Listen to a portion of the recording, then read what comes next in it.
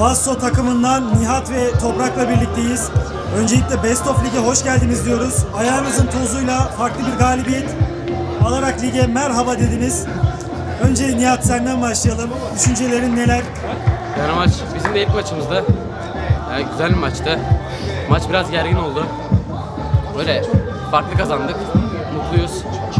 Teşekkür ediyorum.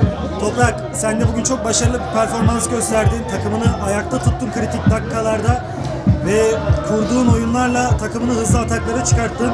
Öncelikle e, sizi de tebrik ediyorum. Sonrasında senin maç hakkındaki görüşlerini rica ediyorum. Maça biraz temposuz başladık. Biraz baskılı, rakip baskı vardı. Rakibin üstümüz- üstümüzde baskısı vardı.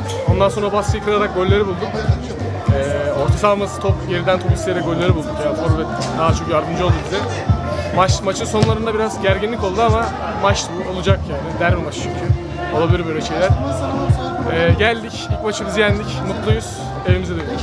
Bizler de size Best of Lig'e geldiğiniz için teşekkür ediyoruz. Keyfini çıkarın. Önümüzdeki maçlarda başarılar diliyoruz. Ayağınıza sağlık.